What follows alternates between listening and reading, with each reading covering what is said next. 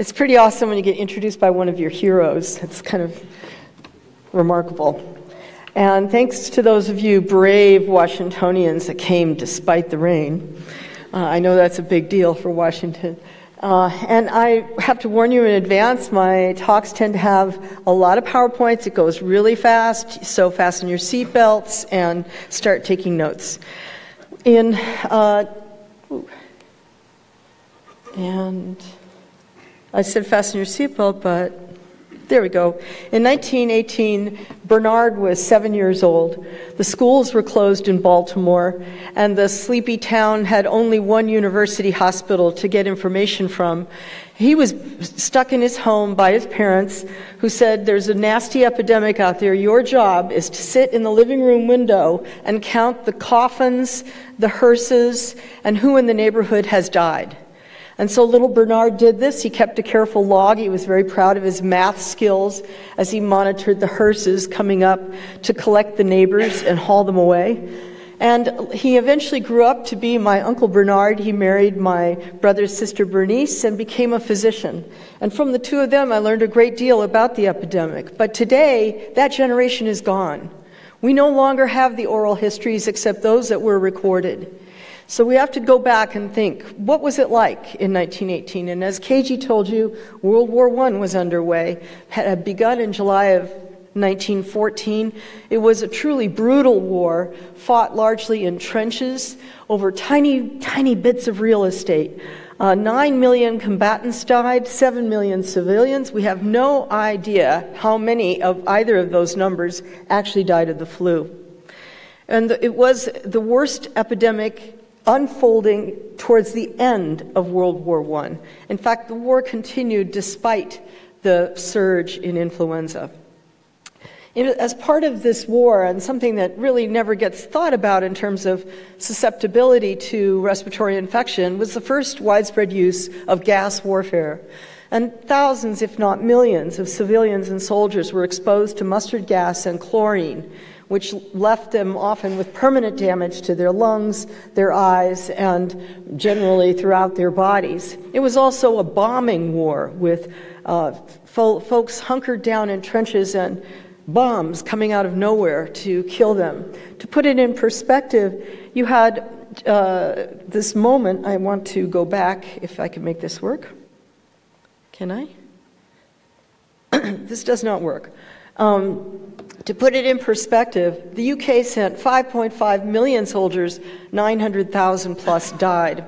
On October 12th, just a month shy of the end of the war, General March demanded more troops, and Woodrow Wilson said to him, General, I wonder if you have heard this limerick. I had a little bird, and its name was Enza. It was a poem about influenza. Wilson had real second thoughts. Should we send troops?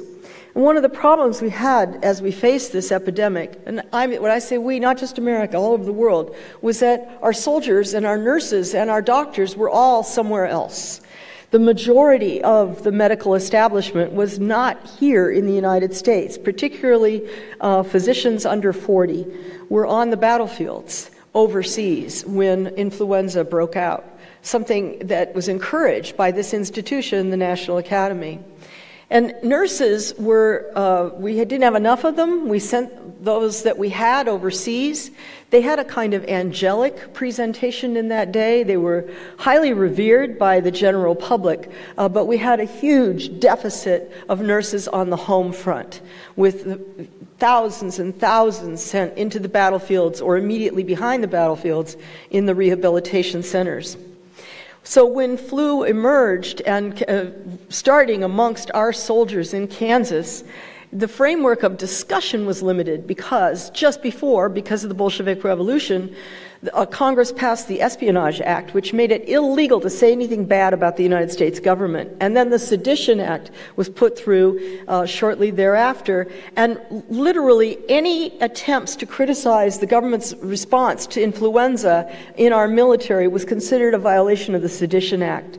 And so uh, when you look at the record, you say, why is there so little written history of this epidemic? Why actually do we have this dearth of information? And part of the answer answer is it was illegal to write critical information. And in fact, you had articles like this Ah, Spanish flu, shmoo. It's just another flu. No big deal.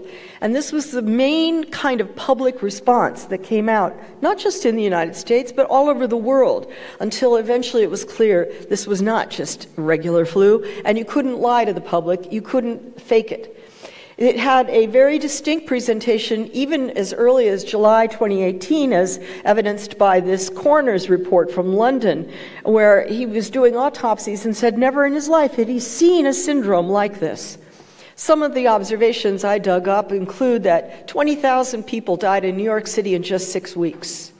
And in the same time period, 120th of the population of Ghana perished, 19% of Western Samoa.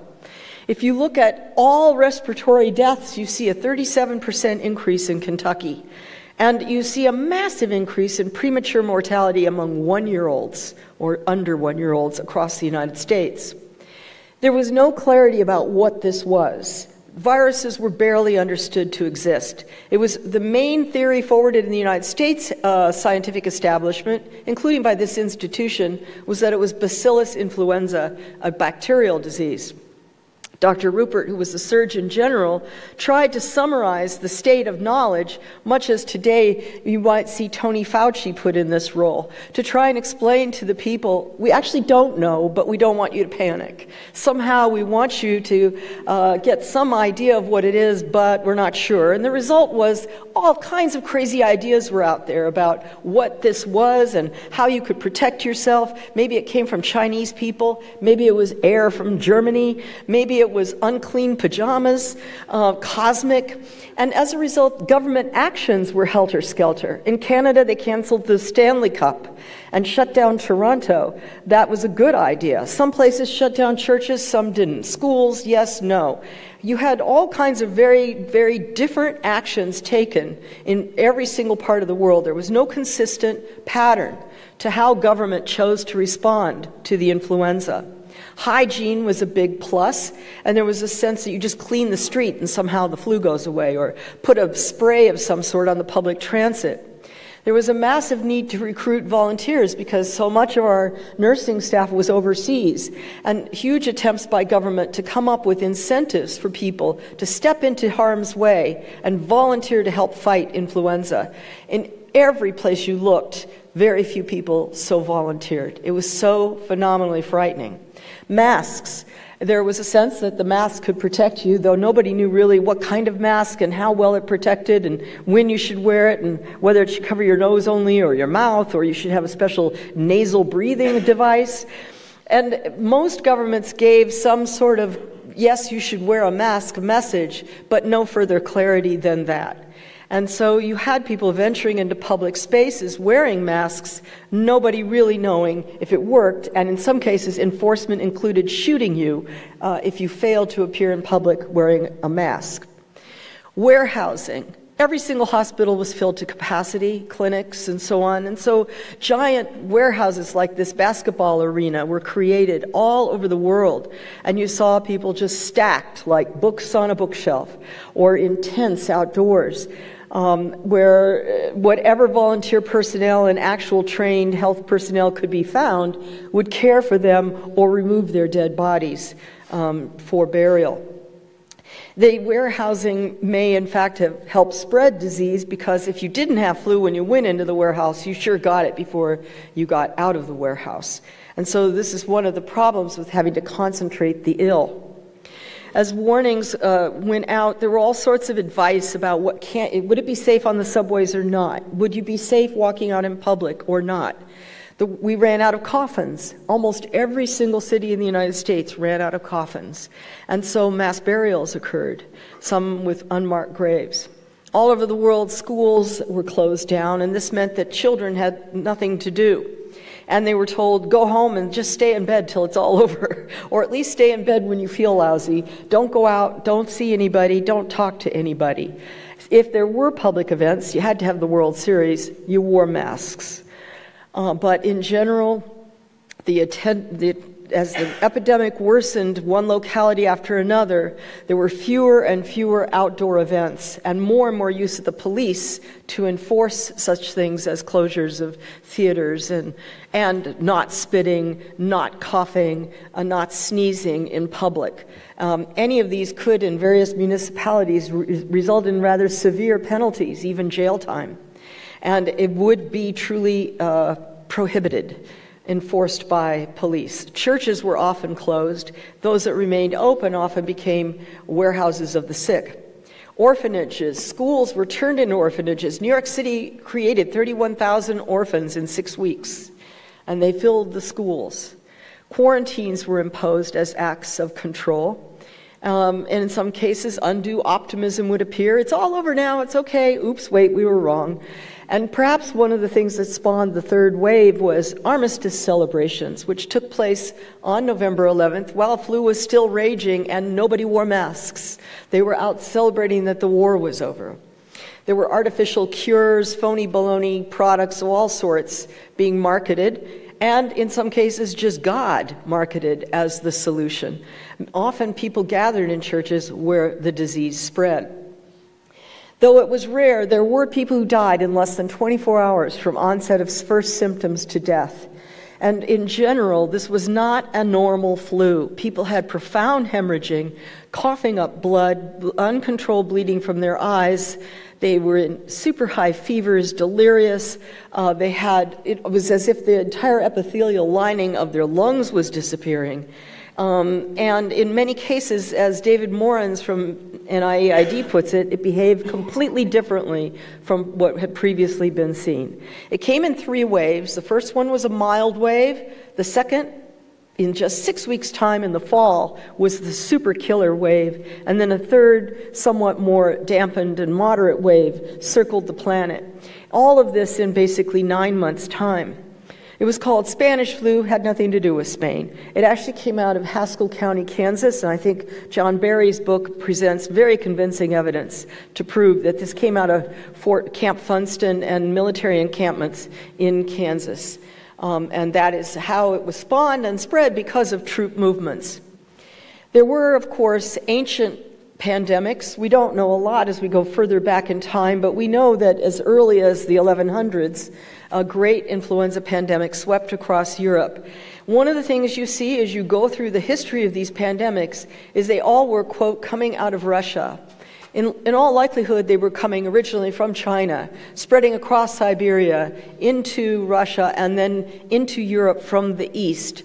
And via trade routes, slavery, and general uh, colonial uh, mechanisms, were spreading from Europe to their colonial outposts in the Americas and Africa and Asia. Um, as the, the last really big one in 1889, swept across the entire planet and had a particularly high death toll for young adults aged 21 to 40. Um, there, the, peak mortality in several of these outbreaks was actually in young adult populations. And this becomes more and more significant uh, a factor as we look forward to what would be appropriate strategies for mass vaccinations of populations and how do we understand what flu really is. Something definitely happened in 1918 because a 100% bird adapted virus without going through an intermediary species turned into a human to human transmitting virus and spread via the network of railroad lines and shipping lines all over the world to claim in almost every place it went extraordinary numbers of dead. How many? We are still debating today and this tells us the paucity of our records. How many really died in 1918 and 19? It goes from a lowball estimate made in 1927 of about 21 million, all the way up to estimates well over 100 million. If, if you put that high end in perspective, you would see we would have millions and millions of dead today were a similar pandemic to strike. It was also highly variable. One part of Iran experienced 40% mortality. Native populations in the Yukon and Alaska and, and in parts of the Pacific had 100% mortality. The record keeping, of course, was scratched into paper, and I went through some original records for the United States, and here's what I was able to see. First of all, if you broke, if you just looked at death rates, you saw a huge increase in death rates between 1917 and 18, anywhere you looked, every single state. You also saw a huge increase in what was officially called flu, but more importantly, in respiratory health. Uh, and those probably were flu deaths and may or may not have been counted in anybody's guesstimate of the ultimate number of people who died of influenza in the United States. And here we had record keeping, although in some cases the record keeper was the coroner or the mortician, not a physician, not a nurse. We clearly had a, this sort of W effect, as they call it in epidemiology circles, where you, instead of having a death toll that rose with age, with normal flu, the death toll dropped and then skyrocketed for young adults and then down. Um, and the general number given for American mortality is 675,000 souls, but that is surely an underestimate. And very clearly, it had an effect on not only mortality in America and Europe, um, but also on life expectancy. And again, we're basing this on very poorly kept records. Um, hand scratched, hand estimated, um, in many cases subject to damage, never properly microfiched. So it's, it's amazing the paucity of accurate information that we actually have. But we do learn from this as we look forward that flu is a bird virus. And that when tragedy strikes, it's because flu jumps from birds to people in a form that can spread from human to human, which it did again via passing through pigs in 2009. Uh, when H1N1, the virus that caused 1918 outbreak, continued to lurk in our environment all the whole century and still does today. In 2009, it passed through pigs, probably in the pork industry in the Midwest of the United States, but the first recorded case was little Edgar Hernandez in Veracruz, Mexico. He survived. He was sometimes called patient zero for the 2009 pandemic. But uh, in fact, it's, I think, quite clear that the epidemic's first outbreaks, its first breakthroughs to the, our species occurred previously, back in 2008, when you had isolated cases of pig to human transmission of this H1N1 strain, um, often involving uh, county fairs where children were playing with competing pigs um, and were directly exposed. Uh, you know, kids can't resist touching a pig's snout. Don't do that. And in, San Diego County and Imperial County, California, there were two children taken very sick um, with uh, uh, H1N1 flu before um, the first reported case in Mexico. So I think we're, we're fuzzy on exactly when all this transpired. But after Mexico, it makes its way to New York City uh, via kids returning from Easter break vacation in Cancun. Mexico paid a big price for being 100% transparent, for warning the entire world in a timely fashion, and for doing not only no cover up, but for ordering, sorry, its own schools, offices, businesses, restaurants closed to stop the spread of this virus. By drawing its dramatic attention to the outbreak in a, in a you know, really laudable form that few governments have been willing to do, Mexico paid a big price because the world started to see it as Mexico's problem, and Mexico gave us this epidemic, and we got to stop Mexicans. And as you know, it doesn't take much to turn a president into an anti Mexican. Um, in Mexico, there, the army was deployed, handing out masks, enforcing their use all over the country. Um, the churches were closed and, uh, or it, for certain ceremonies, opened, but people were required to wear masks when attending. Uh, and most mass transit was either empty or, in special cases, people were allowed in wearing masks. They tried to limit social contact by practicing distancing as much as possible, getting people to stay a fair distance from one another, minimizing their likelihood of receiving virus from a carrier that might not know they were even infected. Um, and some Mexicans tried to take it all with a good sense of humor. Uh, but in the end, it spread wildly from Mexico, and it was in no time at all that this virus was actually a global phenomenon, and it was already spreading rampantly in the United States, even as Mexico was taking such radical steps to control its own outbreak. Uh, again, laudable efforts to minimize the crisis in their country. By May 6th, all of Mexico's uh, limitations were lifted, and by then, of course, it was a global phenomenon, so Mexico no longer sort of held the burden. Interestingly, 71% of the cases in Mexico that were identified were 29 years and younger. So it was showing this pattern that had been seen in 1918 that signaled cause for great concern a virus that especially attacks young adults. Traveler alert was issued on April 28th by our Centers for Disease Control, and the world responded by canceling Mexico, penalizing Mexico. Any traveler coming from an airplane that had originated or passed through Mexico had to go through body scans. If they showed any temperature at all, they were detained and placed in quarantine. In many airports, uh, they were required to wear masks of one form or another, whether or not anybody thought they actually worked. This one certainly would not. It would have no effect whatsoever in limiting spread. Um, British Airways had a huge drop in the, in the stock market, as did Aeromexico and a number of the airlines. And on May 1st, WHO issued its own statement saying these travel restrictions make no sense.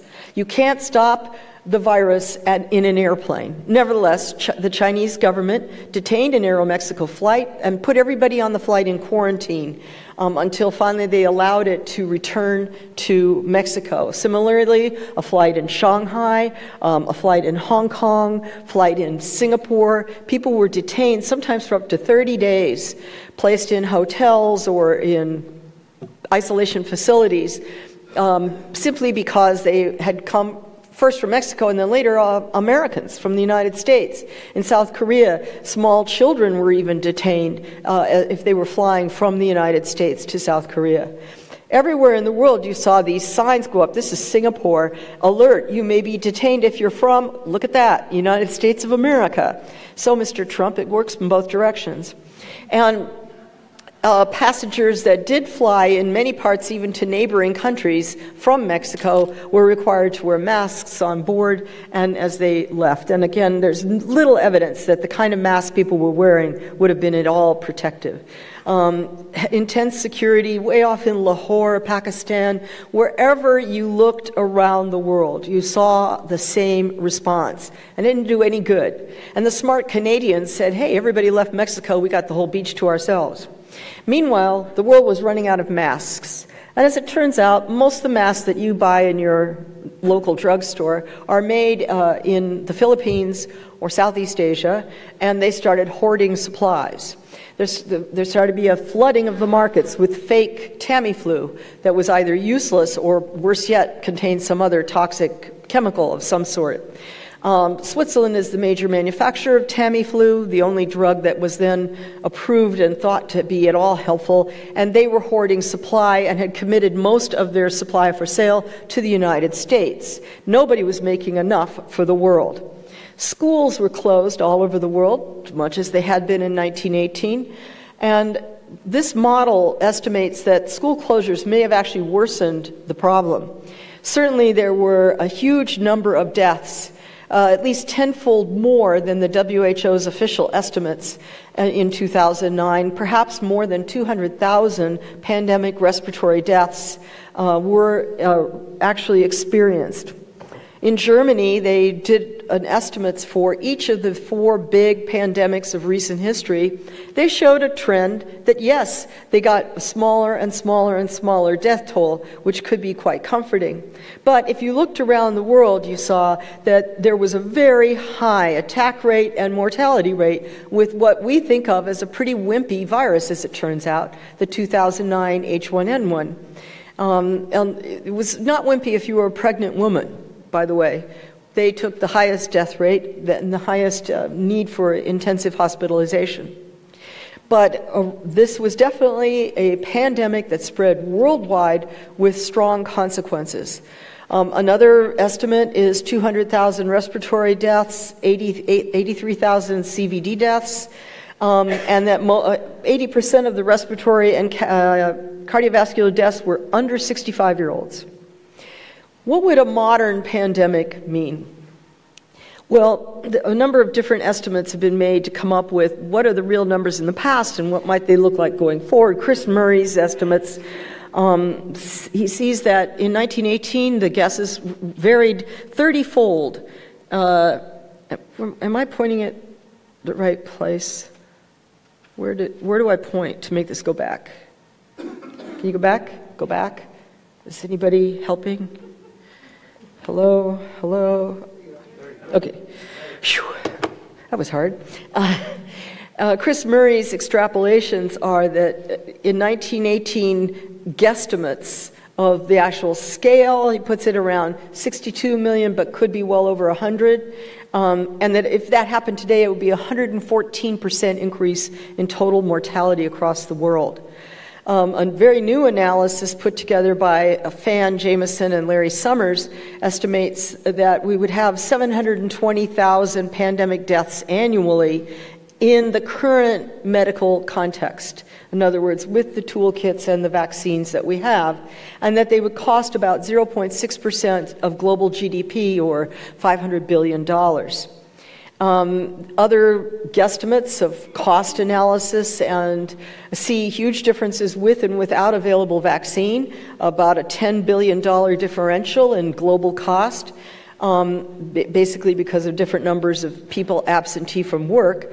Um, and we can see a, a, clear trend analysis of what it would look like and what kinds of numbers you might be looking at in terms of actual deaths um, going forward. All of this is guesswork because it depends on the famous, you know, garbage in, garbage out for any modeling exercise. But any way you look at it, you're, you're going to have at least a half a point uh, GDP loss and possibly 2 or 3% GDP loss with a serious global pandemic with high mortality rates. Well, 100 years ago, they didn't have antibiotics. They didn't have vaccines. They didn't have ventilators and all these fancy schmancy. So wouldn't it just be a puny problem today? I mean, couldn't we just face down the 1918 flu if it became forward today because of all these wonderful assets that we now have that didn't exist in 1918? No. And here, let me give you my cause, reasons for great concern. Let's take first a look at what it would mean, you know, what differential do we get out of the vaccine phenomenon? Well, first of all, in 1918, the peak mortality was just six weeks long. Nobody makes vaccines in six weeks. And the first wave looked so mild, you might not have mobilized for mass vaccination production. We are seeing a decline in funding for basic research and universal vaccines. And while WHO has boosted supply with adjuvant, they still can at best hit a billion out of 7.2 billion humans. A recent poll shows most parents in the United States of America will not. They are not favoring vaccinating their children, and uh, more than half believe that you can get flu from the vaccine. So that why would you give a vaccine? I don't want my child to have the flu. If you look at which parents in the blue do vaccinate their kids for flu versus in the orange which don't, their feelings, it's like they're looking at two different worlds and interpreting risk. Uh, even if they're matched for college education and, and economics. Um, a third think, you know, the flu shot is a conspiracy. Whatever, I don't know whose conspiracy, but there it is. And 28% say it can cause autism. You can't save lives with a vaccine if people won't use the vaccine. Antibiotics. We have rising antibiotic resistance across all the bacterial uh, species that we would be most concerned about for respiratory infection. Only uh, 12 new antibiotics have been licensed since the year 2000, and so many companies have left the field that we're down to only four big companies even maintaining any r&d for, for antibiotics Antivirals. We see rising resistance uh, against the viruses from the handful of antiviral products that we have, and they are made in small quantities, and there's a tradition of nations hoarding supplies. We have never seen antivirals be available for international distribution. They have always ended up hoarded in specific wealthy countries. And Congress here has never paid for more than 31 million people to obtain. What about improved respiratory support? Well, we're short 2 million ventilators, according to the American Public Health Association, and many of our hospitals already operate at full capacity. There is no surge capacity margin, either in personnel or direct facility. So it's not clear that we have some fancy schmancy ICU capacity. What about the skilled labor force? Certainly, we have more doctors and nurses today than did in 1918, but only 38% agree to be vaccinated last year for flu. So they're willing to be right up close and personal with flu carriers without being vaccinated themselves. And we should expect a high absentee rate uh, as flu spreads. We see this in every outbreak because they stay home with their children. It's not it's not a, a, a, terrible thing, but obviously they want to be with their kids. What about the absence of World War I scale intense combat? True. However, what we do see today is an increase in attacks on Red Cross workers, healthcare workers, MSF all over the world. Healthcare workers are now targets. That Red Cross is a big darn target. Um, and we have seen record numbers of healthcare workers assassinated and kidnapped in the last five years. What about governance? Yes, we have a strong World Health Organization, which didn't exist in 1918, but before two Ebola outbreaks, which KG mentioned earlier, we were already 78, only at 78% of funding goal for emergency response capacity by WHO. That is now exhausted by the two um, outbreaks, and they are in begging mode for funding. And the health security agenda. Well, for full compliance, I mean literally full compliance, only 39 nations have achieved that at this point. Um, and the billion dollar investments made under the Obama administration, it's not clear uh, how much of any of that will continue as we go deeper into the Trump administration. And so, uh, and no other country except Germany has really stepped up to the plate and said, okay, we'll come in with a, a big commitment to maintain it. This institution held a historic meeting in 2005 looking at the threat of pandemic flu. And I think this summary point that the nations, the poorest nations, will bear the brunt of a future pandemic is true. Partly because supplies will be hoarded in the rich countries, because borders will be closed, because laboratory capacity is wildly different in one nation to another, because many will resort to harsh action, bring in the police, and because of scaremongering, internet, and cable television. And then finally, I want to turn to the changes in our planet, which I think are increasing risk for all of us. What the heck is this Asian mandarin duck doing in Central Park right now?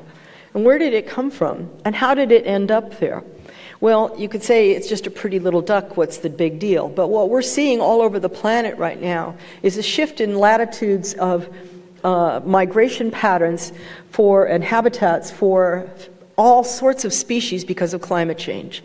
And in particular for fish that are predated, predated upon by the aquatic bird species that carry influenza. Um, cod have moved so far north that when I was in Greenland, the fishermen were complaining they couldn't find cod anymore. We are, we are seeing all over the planet this massive movement of species range, and as the species shift, their predators will shift. So, the red Asia flyway is the key flyway we are concerned with when we talk about influenza. It is uh, migratory aquatic birds on this flyway that are the chief reservoirs of this virus or family of viruses. Um, how climate change and the various uh, changes in fish movement and so on on the planet are affecting that flyway is really not quantified. I haven't seen, I've dug hard. I, as far as I could tell, nobody's really doing the work and researching it. But it would indeed change influenza risk. Thank you.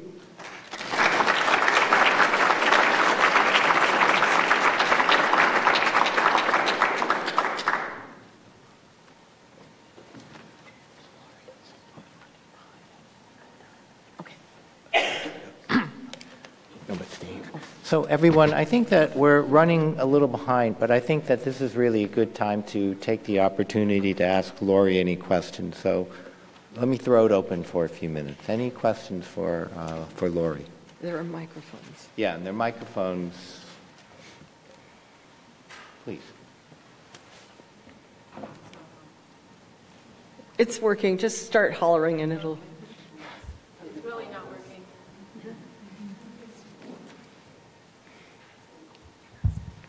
Hi, my name is Pia MacDonald from RTI International.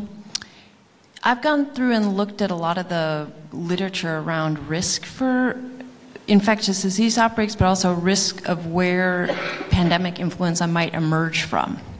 And I've noticed that there is not well documented risk maps.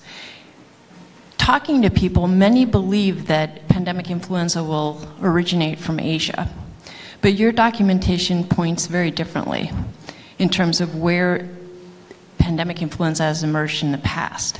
well, actually, I would beg to differ. I think, we- I think it's pretty clear that every major pandemic originated in China, or at least it's clear uh, from the point at which it gets into Siberia. Um, the, the second wave of the 1918 flu uh, emerged out of Haskell County, Kansas, but it was based on a virus that was the first wave virus that had come from China. So I think, I think we're very clear that the issue is birds, and we're going to hear more later today from some of our speakers about what the role the birds play and why the virus can adapt to humans. Okay, I just thought you said that like the 2009 originated maybe in the US Midwest Ah, through swine Good point. All right, so let me clarify that. Okay, Um, thanks. H, the H1N1 virus, eh, eh, everything, every H1N1 that's in the world today is a son or daughter of the 1918 strain. And the, at some or all of its eight genes are, are a descendant. Oops, yikes, that is terrible, sorry. Is, is a descendant from the 1918 virus. What happened in 2009 was that it passed through swine. And it may indeed, and I think um, perhaps Tony will speak to this, but I think we have a pattern in the United States with H3N2, with H1N1, um, that viruses that, ha- that have caused outbreaks in humans don't just like suddenly disappear, they go into other species. And often it's in our country, our most concentrated form of livestock, where we just really pack them in, is our pork industry. And we do see constantly these viruses emerging out of that paradigm, often in these isolated cases with kids at county fairs. And if you start paying attention to these Midwest County Fair reports, you'll see it's a, it's a fairly frequent seasonal event that kids are hanging out with the pigs and here comes a virus. Now, that appears to be what happened in 2009. Any other questions? I'm just a visitor here, but my, my question is about um, polio. And um, we often, we talk a lot about the Spanish flu outbreak, and justifiably so, but we don't talk too much about the origins of our polio outbreak, which occurred, I think, in 1919. 1916. 1916.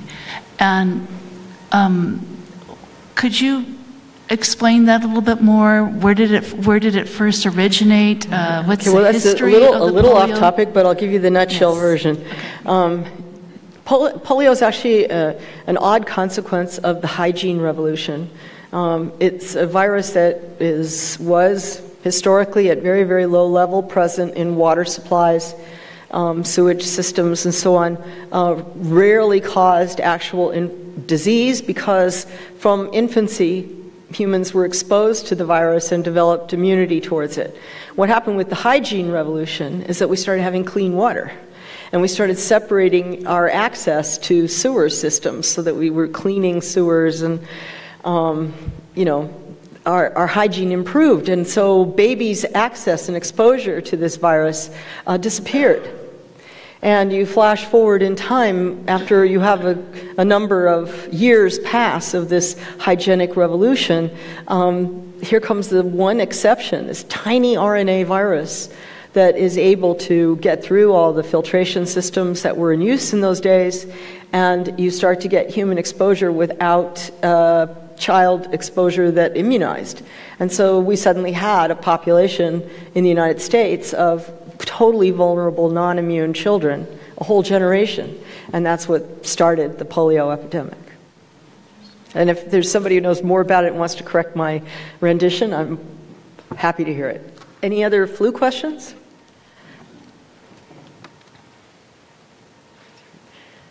Hello, my name is Christopher Eddy. I'm with All One Health Systems, LLC. I'd just like to thank you so much for the coming plague. It did ch- indeed change my life. I had it on my desk as environmental health director for over 10 years under my dictionary.